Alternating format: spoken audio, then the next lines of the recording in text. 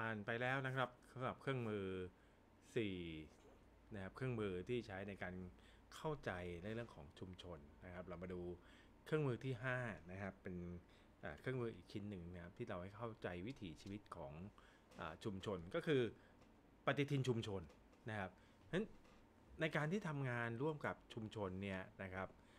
เราก็ต้องเข้าใจนะครับว่าวิถีของอชีวิตของชุมชนเนี่ยเขามีห่วงเวลาอย่างไร นะครับเขามีตารางกิจกรรมตารางเวลานะครับมีช่วงที่เเขาทำกิจกรรมในเดือนมกราอะไรเดือนกุมภาอะไร หรือบางทีเป็นช่วงเวลาที่เป็นเหตุการณ์ที่เกิดขึ้นนะฮะในอรอบชีวิตประจำวันของชุมชนที่เป็นซ้ำๆกันในรอบปีรอบเดือนนะฮะหรือช่วงเวลาหนึ่งนะเพราะฉะนั้นไอ้เจ้าปฏิทินชุมชนเนี่ยก็จะเป็นเครื่องมือที่ทำให้เข้าใจนะครับว่า ตัวแผนหรือกิจกรรมหรือเหตุการณ์ที่มันจะเกิดขึ้นในชุมชนเนี่ยมันมีลักษณะของอเหตุการณ์หรืออสิ่งที่เกิดขึ้นอย่างไรทำให้เห็นความสัมพันธ์ระหว่างชุมชนชาวบ้านการรวมตัวกันหรือเรื่องต่างๆเหล่านี้ในกิจกรรมหรือเหตุการณ์ต่างๆเนี้ในชุมชน ก็จะทำให้เราเนี่ยสามารถที่จะมีการที่จะวางแผนว่าโรงเรียนเองเนี่ยจะสามารถเข้าไปทำงานกับชุมชนเนี่ย ได้ในช่วงเวลาไหนนะครับ เช่น เราอาจจะข้าเข้าไปร่วมงานในช่วงวันลอยกระทง เราจะเข้าไปร่วมงานในเรื่องของวันสำคัญทางศาสนา เราจะเข้าไปในช่วงที่มันมีประเพณีอะไรต่างๆ เหล่านี้ที่เกิดขึ้นนั้นสิ่งเหล่านี้มันก็จะเชื่อมโยงนะครับกับตัวที่สิ่งที่เราทำไปแล้วในเครื่องมืออื่น ๆนะครับ เช่นเกี่ยวกับเรื่องของผังแดนเเดินดิน เรื่องของผังเครือญาติโครงสร้างชุมชน แล้วก็ปฏิทินชุมชนเนี่ยก็จะทำให้เราเนี่ยเข้าใจบริบทของชุมชนนะครับเป็นเป็นเหมือนกับตัวเป็นพื้นที่หรือเป็นเขาเรียกว่าสิ่งที่ทำให้ชุมชนเหล่านี้เขาเกิดมิติวัฒนธรรม การรวมตัวกันอะไรต่างๆ เหล่านี้เกิดขึ้นนะมันก็จะเป็นบทบาทต่างๆ ของชุมชนนะปฏิทินของชุมชนเนี่ยก็จะเป็นเครื่องมือที่ทำให้เราเรารู้ว่าเวลา ของชุมชนในห่วงนี้เราควรจะทำอะไรอย่างไรนะอันนี้ก็เป็นตัวอย่างนะครับ เช่นปฏิทินชุมชนเนี่ยเขาจะมีกิจกรรมประจำวันนะครับในช่วงเช้าชาวบ้านเขาออกจากนะครับบ้านกันกี่โมงนะครับ แล้วเขาไปทำอะไรลูกหลานออกจากบ้านกี่โมง การเดินทางเป็นยังไงอะไรต่างๆนะครับ ในประเพณีที่เกิดขึ้นในรายเดือนเดือน มกรามีเหตุการณ์อะไรเกิดขึ้นเดือนกุมภามีวันสำคัญทางศาสนาอะไรอย่างไรนะครับ หรือปฏิทินอาชีพต่างๆ ในชุมชนนะครับ ปฏิทินครอบครัวที่น่าสนใจอย่างเงี้ยนะครับ ปฏิทินกิจกรรมทางสังคมหรือสิ่งต่างๆ เกิดขึ้นนะครับ เพราะฉะนั้นเราก็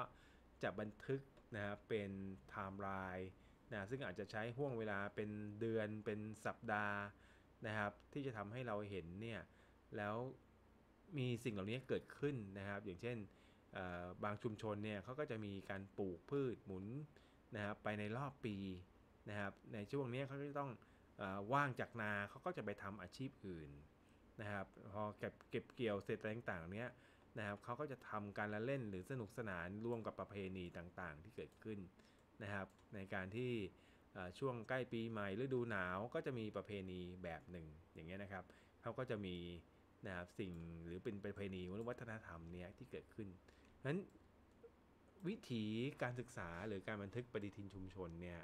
เราก็จะใช้วิธีการที่จำแนกนะปฏิทินเนี่ยออกเป็นอสองลักษณะนะฮะก็คือปฏิทินด้านเศรษฐกิจกับประเพณีปฏิทินทางด้านวัฒนธรรมนะครับแล้วก็เราก็จะรวบรวมข้อมูลนะครับในในด้านอาชีพต่างๆ ของชุมชนไว้นะว่าในชุมชนนั้นมีอาชีพ อะไรเกิดขึ้นนะครับมีการเคลื่อนย้ายแรงงานไหมปัจจุบันนี้หลีกเลี่ยงไม่ได้นะครับ เรามีแรงงานชาวต่างชาติที่เข้ามาทำงาน ใช้แรงงานอยู่ในบ้านเราเนี่ยเยอะนะครับเพราะนั้นก็จะมีคนที่เข้ามา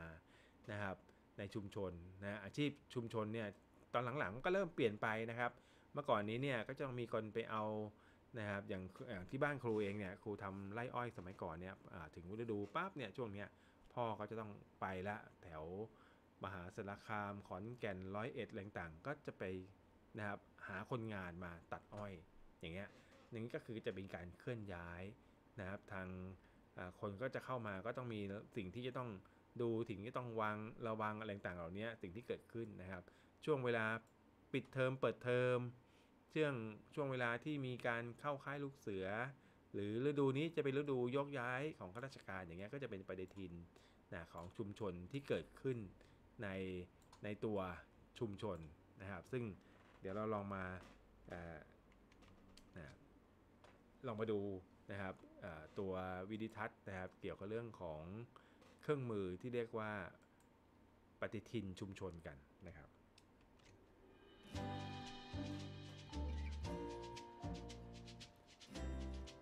ในการลงไปทำงานกับชุมชนสำคัญก็คือต้องรู้จักลีลาและจังหวะชีวิตของชาวบ้าน ต้องเข้าใจว่ากิจกรรมใดเหตุการณ์ไหนจะเกิดขึ้นเมื่อไหร่ สิ้นสุดตอนไหน ในแต่ละฤดูกาลชาวบ้านทำอะไรกันบ้าง เราควรรู้ล่วงหน้าถึงตารางกิจกรรมที่อาจจะเกิดขึ้นในรอบวัน รอบเดือนและรอบปี รวมทั้งกิจกรรมทางวัฒนธรรม งานบุญ งานประเพณี และเทศกาลต่างๆ ปฏิทินชุมชน เปรียบเสมือนเครื่องมือที่จะช่วยให้เราเข้าใจมิติเรื่องเวลาทำให้เรารู้ว่าช่วงเวลาไหนถึงจะเหมาะสม และสามารถวางแผนการทำงานได้สอดคล้องกับวิถีชุมชนนั้นๆ จากชุมชนบ้านตาล ตอนนั้นปัญหาคือเรื่องของการคันออกกำลังกายของวัยทำงาน ตรงนี้เราก็ไปดูว่า ในประวัติชุมชนเนี่ยเขาบอกไว้ว่ามันมีการละเล่นที่สำคัญของชุมชน ก็คือการใช้แตรวง ซึ่งแตรวงบ้านตาลบริการเนี่ยจะเป็นแตรวงที่ดังที่สุดในจังหวัดอุตรดิตถ์ใครบวชลูกบวชหลานต้องเอาแตรวงบ้านตาล มันได้ใจถูกใจทุกช่วงทุกวัยวัยรุ่นก็เต้นได้ ผู้สูงอายุก็เต้นดีวัยทำงานยิ่งชอบ มันก็เลยจุดประกายไงว่าในชุมชนนี้มันมีการละเล่นที่สำคัญอยู่นะ ปฏิทินชุมชนตามมาฮะ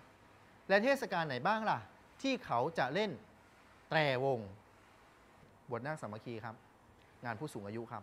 หรืองานต่างๆที่สำคัญของชุมชนที่จะมีการละเล่น เขาก็จะเอาตรงนี้ออกมาด้วย เพราะฉะนั้นในช่วงนั้นคุณกำหนดขึ้นมาอีกหนึ่งช่อง คือแผนกลยุทธ์ของคุณว่าในช่วงนี้คุณจะมีการบูรณาการเรื่องการออกกำลังกาย โดยใช้แต่วง ปฏิทินชุมชนเนี่ยเป็นน่าจะเป็นเครื่องมือหลัก ๆ อันหนึ่งที่ที่เหมือนกับจะนำไปสู่เรื่องปฏิบัติการ อย่างเช่นการอนุรักษ์การใส่เสื้อ